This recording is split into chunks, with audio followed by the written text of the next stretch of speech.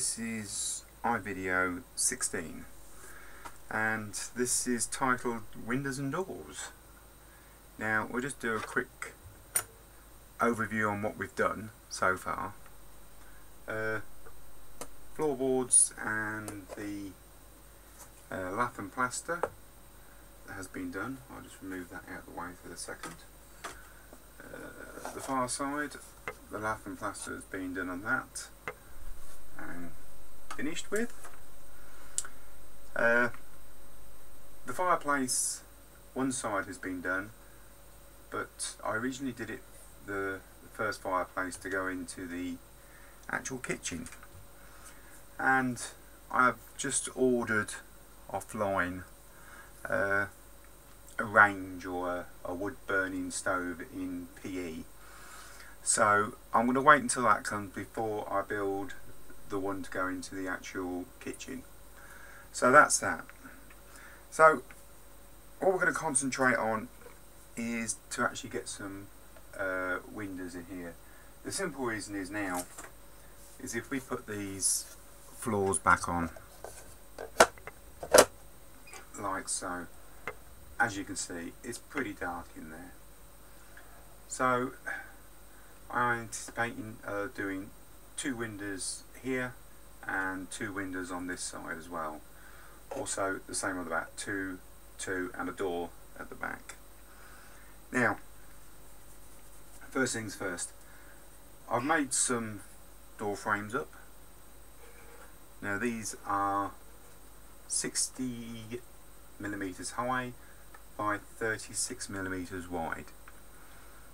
That is to scale so to actually work out where everything is going to go, it is quite simple. I'm going to have to change my glasses, sorry about that.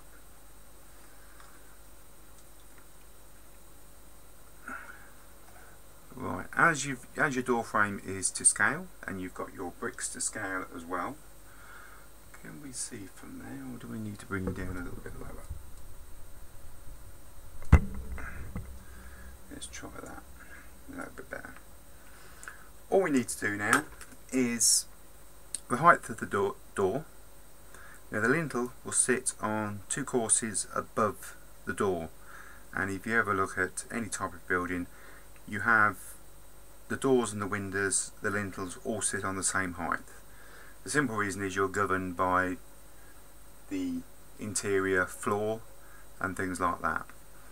So what I'll be doing, I will be marking out on this course here to cut out for lintels and the actual doors. Now, I'll take it back a little bit. Sorry about that.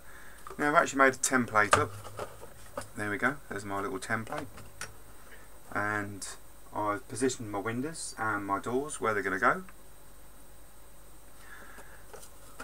two of the windows, as you can see, so I drop that to there, are going to virtually go in these gaps where the uh, brickwork's going to be racked back. The other two are actually going to go in either end. Now this is going to allow light through in into this part here. Now I wasn't going to do this as a full, you know, I was only going to do it so you could view from like the front and the side, but putting a window in here and having a window it's going to give you another view into the inside here. And on the back of the actual building I'm going to put two windows in here. Another two in the kitchen and a doorway which is going to allow a, lot of natural light to get in. And also it's going to give another view inside the actual building. So I'm going to go ahead with that. Uh, actually cutting them out, I've already done a video on uh, fitting doors and windows. Uh, I can't remember which uh, iVideo it is, but it's very, very, very easy. The only thing you just need to do is just remember where to mark out, and that will be the height of your door frame. I will be putting in these. These are lintels.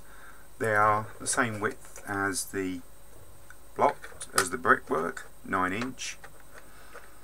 they will be going in above the windows. And also what will be going in at the bottom is sills as well. So there will be a sill, a window and a lintel above it. And I shall cut all the holes first and then I shall come back to you and we'll have a little look. So I'll cut all the holes doors and the windows and then we'll go on to the lintels okay the windows have all been cut out. Now there was a slight change of plan on the back here. When I came to offer the four up two in each room it was a little bit too much. So I've just gone with the two one in each and the door. We had a tiny bit of uh, battle damage here uh, the top bit because there's only virtually one course between the lintel and the inside there that pinged off. But I have the piece and I will glue it back in uh, once I put the lintels in. So that's been done. All the windows have been cut out and as you can see there's a lot more light inside the rooms now which I'm pleased about. So the next bit to do is actually do the lintels. Now these are the lintels uh, I've already got them cast. There's nothing really technical about it. We're just going to cut them to about uh, just over a half a brick uh, overhang either side. So we'll have cut the lintel to fit on the top and just glue it in place. And the same with the bottom. We'll have got the thin sill to go on the bottom. Now I'm going to do that all the way around uh, get them glued in and then I shall come back and we'll have another little look and move on to the next bit. Okay, I've fitted the lintels on the front. Uh, the little bits of uh, plastic that are sticking out, I've just pushed them in just to hold it in place while the glue dries, nothing too technical. So I've got my lintels on in the front. I've also put the lintels on in the back and over the door. I've also overhung the lintel. I don't know if we can see looking along that edge. Yes just there. Look. I've over let the lintel overhang outwards a little bit more.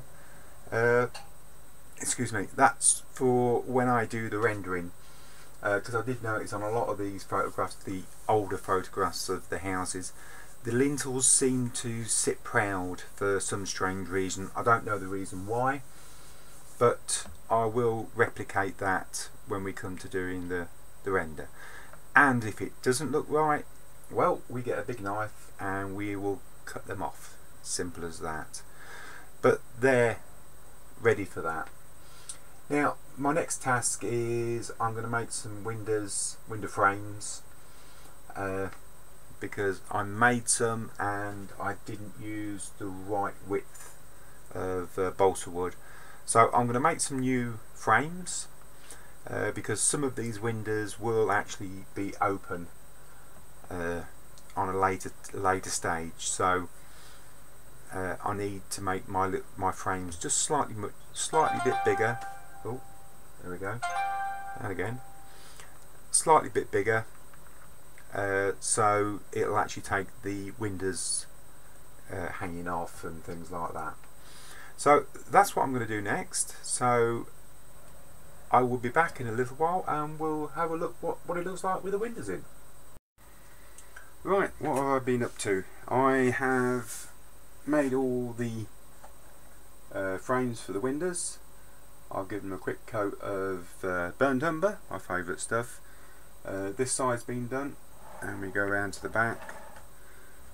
I've done the back frames and the door frame. Now these frames will have two individual windows with the three panes uh, of glass in which will be opening inwards. So but they will be done a bit later because uh, uh, this is just mainly uh, getting the shell fixed and done.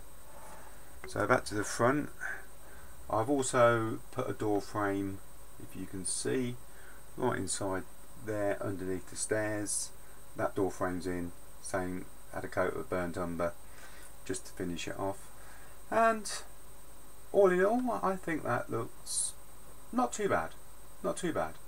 I'm quite happy with that. Now, I was going to try and fit making the stairs into this video and it's not really going to work because it just it, I know it's going to take too long uh,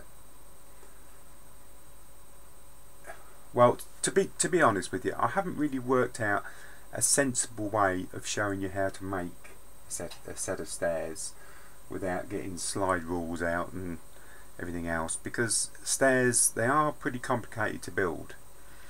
And I'm trying to find uh, a way of making them that's not going to be how can, how can I say it? It's I'm trying to find a way of making them so they're easy to make and not you can you know people are not going to think I can't be asked for that you know because that's just just too much so I'm working on a couple of little ideas of uh, making it easier and straightforward uh, on that and I, I know it's still going to take a whole video up uh, a whole 15 minutes just to to make it and set it out and show you. So I'm going to do that on its own uh, actually it will be the next video that I will start after this one. Uh, because I need to start off we, we need to put a landing in the top here. So because then the stairs come up. I don't know if, if you ever look at stairs you've got stairs coming up and then a small landing at the top and then there's a step up into the next room.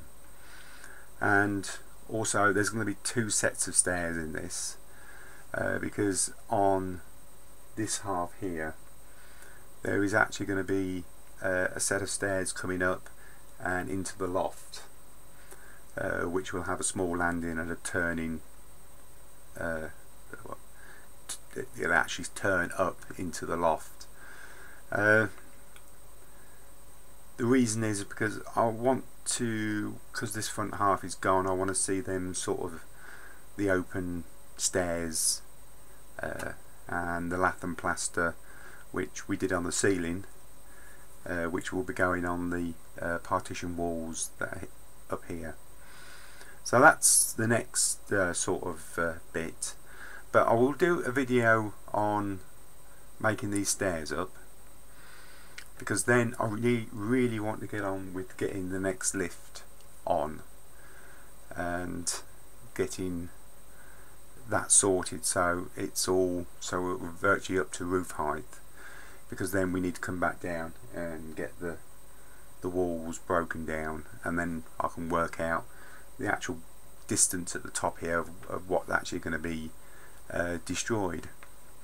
So all in all not too bad uh, bring the camera down a little bit